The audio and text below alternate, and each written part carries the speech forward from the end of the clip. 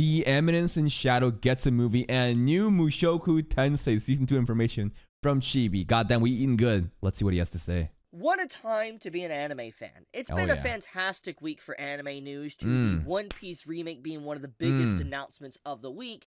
That's right. I heard the East Blue arc is getting like a, a complete remix. So we're getting One Piece HD for the for the fucking East Blue arc. But we also have stuff with like Chainsaw Man, and now what I'm going to be covering is stuff to do with the Eminence in Shadow and Yeah. also Mushoku Tensei. So this stuff came out. They're actually holding hands. I mean, they were holding hands last like and, and at the finale of season two. But goddamn, glasses are off. We're just fucking straight up dating in public. out earlier this morning, and let's just get right into it. So first things first, let's talk about Yeah. Mushoku Tensei. So there was an announcement a while back that we were going to be getting some more information for season two of Mushoku Tensei, and as you can see here on screen, we got a key visual that dropped earlier today that kind of hints at what is to come. And to kind of give a reminder for those that have forgotten, at the end of season two, core one, we had it to where Sylphie and Rudy pretty much were going to be getting married. We we Like it's straight up done. We're just locked in. She is the one to be loved. But like at this moment, wouldn't it be funny if like Eris or some other girl gets thrown into thrown back in? And it's just like disruption, fucking utter chaos. But who knows? Maybe we'll just fucking hard commit to Sophia. I see that it's April second here though, huh? God damn. After solo leveling and classroom of the elite next season, we got Mushoku Tensei to look forward to. We eating good. And I believe Slime should be coming back season three in April. I think. we we had the whole thing kind of going on there at the end of the episode of the finale for you know the first half of season two and so you can kind of look at this segment here of like rudy and sylphie they're having like a honeymoon they're you know in a world of bliss right now You think they would show us like the honeymoon scenes? No. I mean, then again, they've seen they they I've the, the, the implied sex scenes have definitely been shown through Eddie Nadise, so I don't know, everything maybe. seems to be going well for them it's a really interesting key visual honestly i like the way the key visual is presented and especially the house in the background i think it kind of is implied what's going on there i'm not gonna dive too Is this an isekai love hotel? Is that what's going on right now? Hold up, are they just coming out of a fucking love hotel? Maybe? he- like deep into that, but there is something that doesn't even be talked about. There is the elephant in the room, so to speak, What? that I've seen quite a few people talk about when it comes to this key visual that came out today. And that is the fact that Rudy's face here, I'll probably do a zoom in for you can see it better. He's but smiling? Rudy's face seems very off in this key visual. And a lot Does he look off? I don't know where he's going with this. He looks pretty normal to me. Maybe he's just talking about. I actually don't know. a lot of people have been talking about it today, basically saying that Rudy just seems like he's a lot Smiling? younger than he was at the end of the first half of season two. Does I guess he has a little bit more of like a like a smoother baby face here? That's just what happens, man. When you get a girlfriend, you, your life just turns around. Which, to be fair, taking a look at this, that definitely, I agree. I actually agree with that statement. I do think that Oh, and we're just coming out of a, what's presumed to be an isekai love hotel with Sylphie. He, he's got his life back in order. His dick is functional. He got a girlfriend. Everything is looking great. So, of course, he's going to look try to look younger. He's happier. Face definitely looks a little bit weird in this key visual. I think one of the reasons why maybe it looks weird is because of the angle of the head, the way his head is kind of like turned down or whatever. Yeah. I think that is probably the reason why it looks weird. But if I do have to say, I do think that his model design, like with his face, it looks like they're trying to draw him as if he was a kid at you know in season one. So I don't know what's going on there. I, I Hmm. maybe there was someone that like missed the memo that Rudy needs to be aging, but uh yeah, th- I have seen people discuss this all day today and kind of used it as an excuse to basically say that Mushoku Tensei Season 2 is going to be outright just dog crap and going to be awful, etc. That's fucking insane.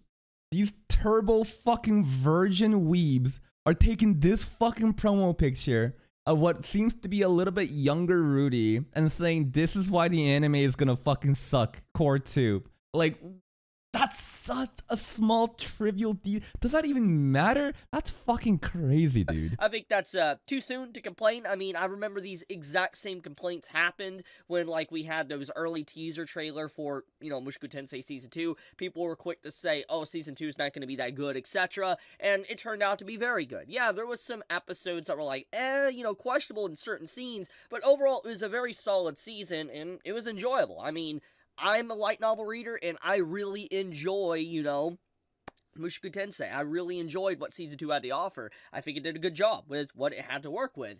Now, with that being said, there is something also that needs to be talked about. With this key visual that was dropped, we also had, you know, information on the next time we'll get more February information 3rd. on Mushoku Tensei. New trailer, and that maybe? In February, February 3rd. And if I had to take an educated guess because of when we know when this is going to air, you can see it at the bottom here. It's going to be airing in April, you know, 2024, literally a day before my birthday, which great birthday Woo! present, honestly. I'm excited to have this literally as a birthday gift. But uh we could see that they are going to have more information like two months prior. And I'm going to assume because of that, this is going to be a PV trailer. Usually when And we will be there to react to an it. anime is about to air, they release a PV trailer like a few months to a month before it airs. So I'm going to assume that's exactly what this is going to be about. Basically announcing that, yeah, you know, here is a PV trailer for the upcoming Mushoku Tensei anime. So that's pretty much all when it comes to MT for today. But I wanted to bring this to everybody's attention because I know there's some that don't browser like online on Twitter or Reddit or whatever and probably have not heard this news. So yeah, here's a new key visual for you all to see and to speculate what is to come for the season. And I want to be honest with you. This season of MT is going to probably be, no Hmm. joke, the, The best? best? part of MT so far. Like, Turning Point 3 is about to happen. And I hear that people are hyping this shit up like no other, saying that Turning Point 1 and 2, it doesn't even come close to Turning Point 3. It'll make that shit look like baby shit. Now, I don't know if this is just over exaggeration from overexcited fans, but still, another turning point is upon us. I think that's what people are estimating according to the amount of content that we have and to what, um, you know, what fucking, what's it called? What, what we can look forward to in Core 2. This just gonna be crazy. like I'm to be honest, you- you're not ready. You're legitimately not. Now, with that, let's segue over to the other news Eminence in Shadow. So today. Eminence in Shadow season two came to a close. The final, you know, episode came out for season two, and I'm gonna be completely blunt. I'm a little bit behind on Eminence. I'm, I'm catching up. Oh. Don't worry, I'm catching up because That's that's why I didn't see a new Eminence and Shadow video from Chibi in a long time. I was like, come on, man, I want some new Eminence and Shadow videos to farm from you. I love Eminence in Shadow. I'm a little bit behind though, Alright. but I love the series, and the series concluded today. And what was announced with it was not necessarily a season three, but actually a movie. So we have a Yeah. movie announcement for Eminence and Shadow called. Now, what is this though, right? Because we see the Eminence and Shadow Lost Echoes. It looks like we've gone back to Earth. So it's yeah. I mean, this movie poster pretty much just like kind of spoils season two ending. I'm not really sure. I mean, it shows like buildings and stuff, and it's kind of post-apocalyptic, which is exactly the environment that we saw, the state of Earth when we came back, right? I personally wanted like a prison arc. I thought I thought it'd be a fun little thing we could do, but maybe that can be an OVA or something later. But still, I, it should be really good. Lost Echoes. And Is the shadow Nishino's? Now that would be a very good attention to detail. You can see her hair here, kind of splitting across the sides. For sure, it could be Nishino. And the fact that she was talking about how like all her friends are like kind of dying as they meet these uh like we're considered like noble knights now. Nishino is like the savior. And she's doing this to like protect her friends or some shit. But a lot of people has died obviously from the encounter. So presumably these are the graves of her fallen knights. and I honestly don't know what to expect because like I'm a little bit behind, so I don't know exactly what's going to be going on with the arc. Ha ha! You've been lazy, Chibi. He's been too busy farming the hundred girlfriends. But totally, if he didn't see the final season ending, then I doubt that he can make the connection. Unless he's the manga reader, right? Manga or light novel reader. and obviously, I'm not a light novel reader. I'm an anime only. I don't even read the manga, so This is Akane going to Mino's says, Grace, are you telling me that after all I just said about her fucking fallen comrades, she's here visiting a grave of a boy that she specifically stated that she doesn't give a fuck about. He's so forgettable. He's so mid. Yet he's she, she- he is fucking living rent free in her head. She's visiting his fucking grave. That's hilarious. I have no idea what content is to come. But I honestly am just surprised we're getting a movie. And hear me out on Mhm. this, okay? Before season two was announced, okay, like before we even had, you know, season two come out, I was under the impression, thanks to light novel readers, that there wasn't a lot of content left to adapt. And somehow they managed to make literally like 12 episodes for season 2, which, okay, makes sense. They announced the season 2. And the pacing was pretty good too. I don't think um, was anything wrong about the pacing. There, is, is there at any point where I thought an episode of Eminence and Shadow was lackluster or felt it was a bit stretched out? No. You know why? Because they fucking gave time for the pool episode. Y'all are probably memeing about the pool episode, but that was an integral part of keeping the structure so that we can con- continue to flow and not feel like some episodes are too drawn out. But then I was like, okay, for them to make 12 episodes instead of like what they did for, you know, season 1, like you go to season 1 here and they had like 20 episodes, it's Oh, Drew, could you imagine if we got 20 episode season again? Please, please. We, I, I got spoiled so fucking hard in season one. No split core, just back to back, peak after peak, 20 fucking weeks. like, yeah, it definitely seems like they don't have much more content to work with if they're only going to be doing, you know, 12 episodes for season 2. and I hear that the manga, I'm not sure if this is true, but with the end of season two in Eminence in Shadow, we are now pretty much near where the manga has been all translated to, or the light novel. I'm not really sure who said that. I remember someone mentioning that we're pretty much caught up though. But soon as season two wrapped up, they announced a movie, which I don't Mhm. think anyone necessarily expected this. Probably Nobody not even did. season three or anything. It's just like from Yeah. once again from what I was under aware of, there just wasn't enough content. But apparently there is enough content to at the very least do a movie. Now, let's get into this bombshell of a topic, okay? So Okay. basically What is it? I, I think everybody has noticed by now when it comes to a trend in anime that nowadays to continue anime follow-up seasons etc usually a movie is made like we've seen this obviously Maybe hot take, but I'm actually not too um happy with movie announcements. And hear me out. As I, I I have no doubt that the movie of Eminence in Shadow will be fantastic. We'll watch it and we're gonna enjoy it. But I think I would have enjoyed it a lot more if this is like a season three announcement. If they yeah, maybe there's not enough material. Maybe the next arc is just perfect to be contained in like an hour or hour and 30 minutes format. But like I would rather just have another 12 episode season. Just more content. At the end of it, that's just it. I just want more Eminence and Shadow content. You know? I think some small arcs, right? I think it definitely makes sense to make a movie out of it. But still, it's it's like I would have loved to have another anime season re- uh, season announcement. But hey, if we're gonna get a movie, at least that's that's better than nothing, right? It's still better. Sometimes you just don't have enough content to work with, man. You just don't. with demon slayer demon slayer I, always bring this up but i think it's very important to talk about The demon slayer i think is what really brought it to the forefront and made it popular yeah there was Mm. always anime movies made like we had naruto movies one piece movies etc Kaguya-sama movie. Remember, we had the fucking movie too. but they were never like canon. They were like filler movies, just for the Mm. fans and just to enjoy, so to speak, on the side. They were never something that was required watching, so to speak. Yeah, it was almost like filler movies, right? I mean, if it, it, I, I- a lot of the old anime movies definitely felt a lot more filler and stuff like that, and it was like not critical to the story. But now, nowadays, the trend has really changed. People, the movie releases like Mugen Train, that shit went fucking crazy. And ever since then, I think a lot more animes are taking this like this this trend and trying to do more movie releases. And I'm not sure what the numbers are in terms of how much more profitable it is to make a movie compared to make an anime season. But if the pacing, you know, if you have a lack of content and you think that there's enough, just enough to make a movie out of it and you can like make more money out of that, then I guess that's what their strategy is from the anime industry. to be able to watch the next season of like the series. Another shitty thing though is the fact that movie releases often take so fucking long to be released to the global release, right? If you're living in Japan, sure, you can just fucking watch it in theaters. But like how long were certain movies just locked in Japan until it's been released to theaters in like um in, in, like North America for where I live, for example, or just globally. And then on top of that, to make it onto these like live streaming platforms like Crunchyroll, HIDIVE, whatever, right? It it just takes extra. I don't know how long it's gonna take. So maybe some movies I think gets leaked early, or some movies just like are able to get released at the same time. But for the most case, like Kaguya-sama, for example, that movie, that shit took forever to get here, right? But in this case, you know, ever since Demon Slayer did Mugen Train, and, you know, uh, it was very popular and successful, almost every single series now has to have a movie. Like, if it's Mm. popular enough, it gets a movie adaptation. Like, think of Jujutsu Kaisen, Chainsaw Man now. And then we also now have this.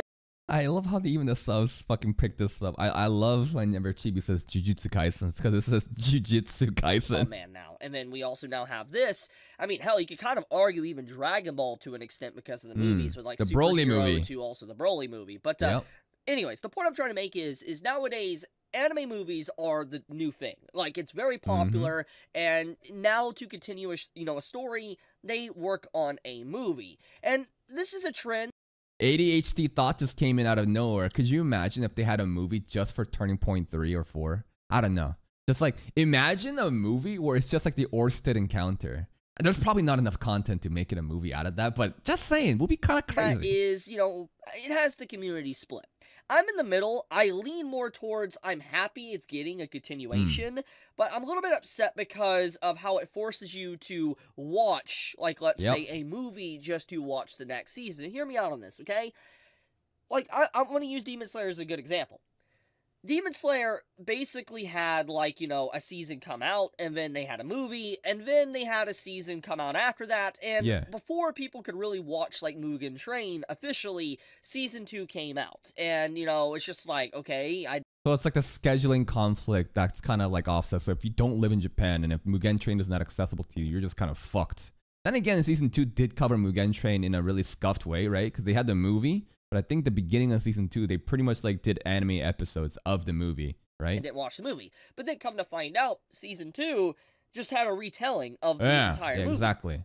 And so it seems like, you know, Pretty sure Dragon Ball Super also did this with one of like the Beerus movies. So they use the movie as a way to tide people over, and then they just reuse the animation within the actual season that comes out. And I feel like it's a very lazy trend. I- Yeah, it is very lazy, but it's also very efficient. They're just recycling content. They're basically making the cake and eating it. Literally what I'm doing right now, streaming my reaction to a chibi video, and after the stream, I will literally re-upload the same fucking content to YouTube and get more views off of it. Isn't it hilarious?